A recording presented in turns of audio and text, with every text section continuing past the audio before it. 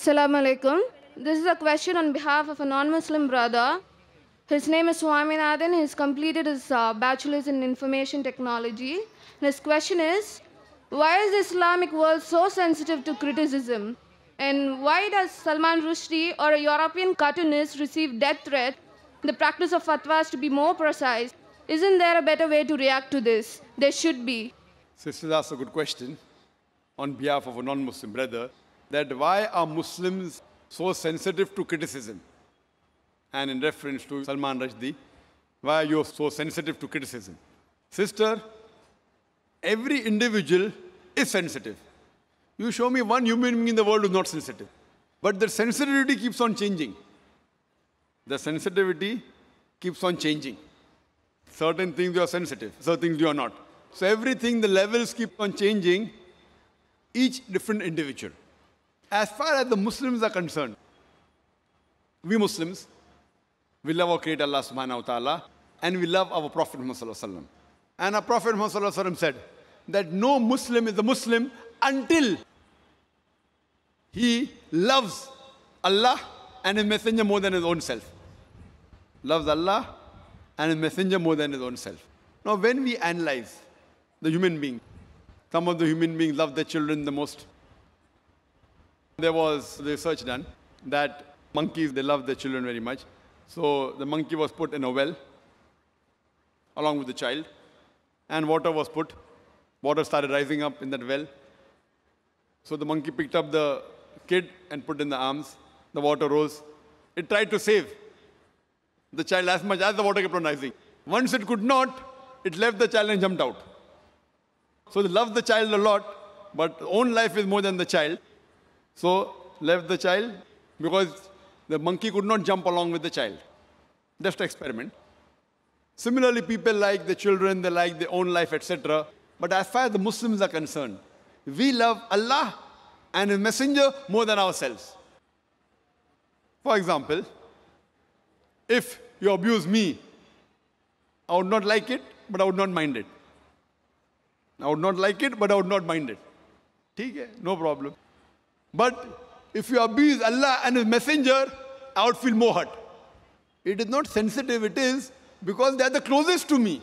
So to the Muslims, Allah and the Messenger are the closest. Even closer than our children, closer than our wives, closer than our husband, closer than our own life. So that's the reason what you should say. Your question should be reframed. That why do the Muslims love Allah and the Messenger so much? You tell me one human being. You get the human being. If you abuse him, you won't But if you abuse on his mother, he'll get angry. If you abuse in the name of the mother, they get angry. So we love our Allah and our messenger more than our mother also. So based on these things, the Muslims, they want to clarify.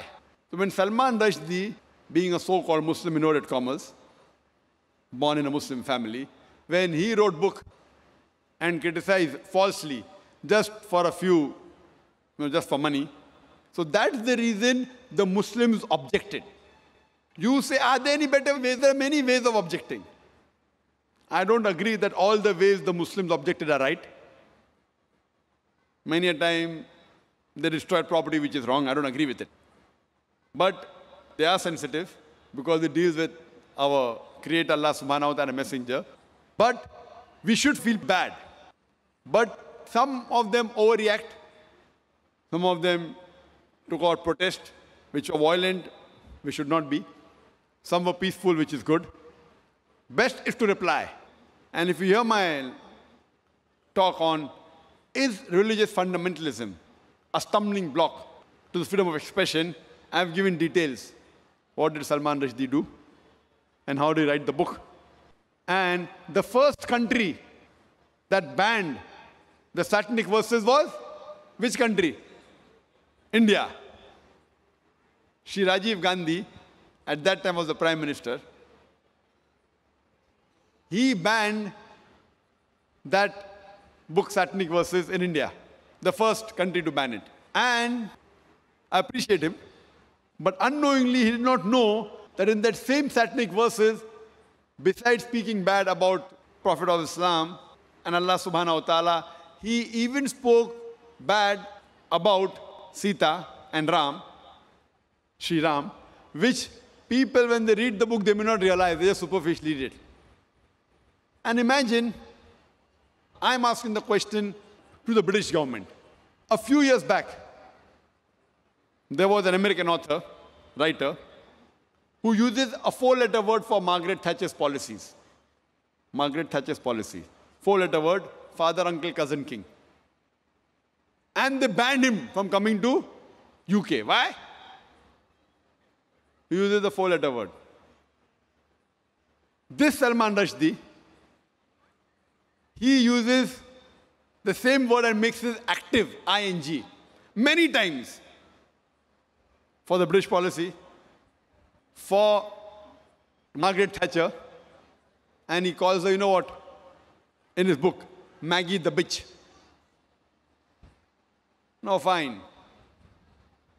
If you say, maybe the Britishers are bold, they wouldn't mind. But imagine if you meet the son of Margaret Thatcher and tell him that Salman Rushdie called you a son of a bitch.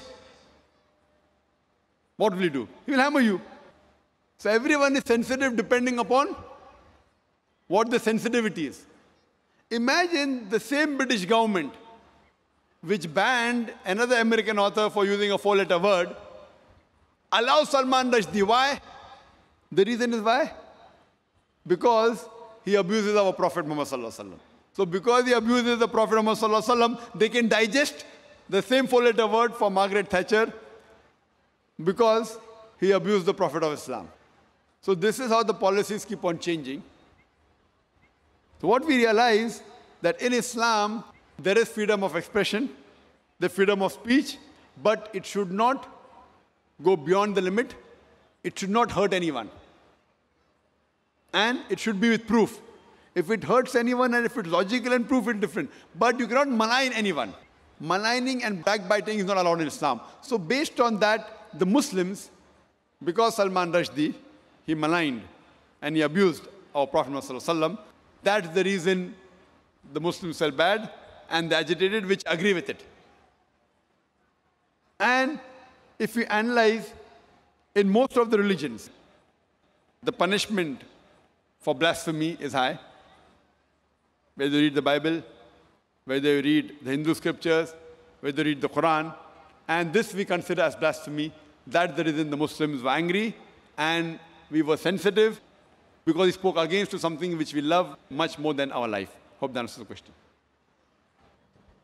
Why did he choose to bring you into this world in Islam and so many others in a different religion? So, so that means he's being partial from the birth.